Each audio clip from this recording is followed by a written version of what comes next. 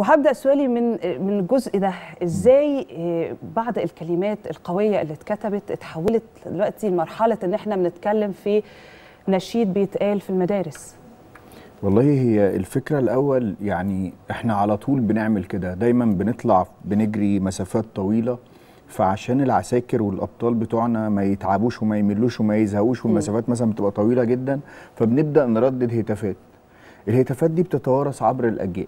يعني كل جيل بيجي بي بي بيعلمها للجيل اللي بعده فتلاقي من عشر سنين نفس الهتافات اللي بتتقال دلوقتي نفس الهتافات اللي اتقالت من زمن طويل.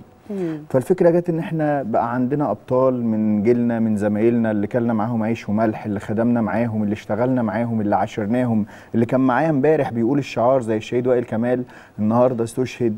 فبقى في ده بقى في ده حوالينا. فقررنا ان إحنا نحط اسمائهم في الشعارات اللي إحنا بس بنجري بيها طبيعي يعني.